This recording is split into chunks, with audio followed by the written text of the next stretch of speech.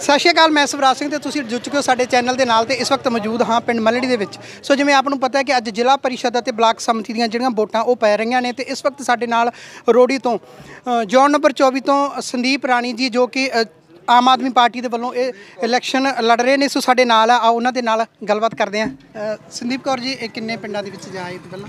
ਅਸੀਂ ਜੀ 12 ਪਿੰਡਾਂ ਦੇ ਵਿੱਚ ਜਾਏ ਆ ਜੀ। ਕਿਹੋ ਜਿਹਾ ਰਿਸਪੌਂਸ ਬਹੁਤ ਵਧੀਆ ਜੀ ਅੱਗੇ ਪ੍ਰਮਾਤਮਾ ਦੀ ਮਰਜ਼ੀ ਹੈ ਹੁਣ ਤਾਂ ਲੀਡ ਬਹੁਤ ਅੱਗੇ ਜਾ ਰਹੀ ਹੈ ਜੀ। ਸਵੇਰ ਨਾਲੋਂ ਅੱਜ ਚਿਹਰੇ ਤੇ ਵੀ ਮੁਸਕਾਟ ਹੈਗੀ ਹਾਂਜੀ। ਕੀ ਲੱਗਦਾ ਹੈ? ਲੱਗਦਾ ਜੀ ਦੇਖੋ ਪ੍ਰਮਾਤਮਾ ਦੀ ਮਿਹਰ? ਹਾਂਜੀ।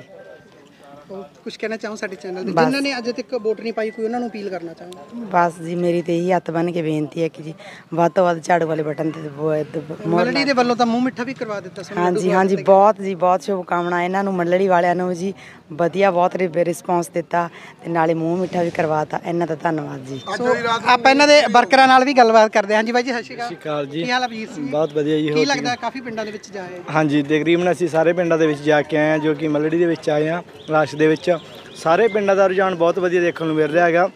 ਵੋਟਰਾਂ ਦੇ ਵਿੱਚ ਉਸਤਾ ਬਹੁਤ ਵਧੀਆ ਭਾਰੀ ਹੁੰਗਾਰਾ ਮਿਲ ਰਿਹਾ ਹੈਗਾ।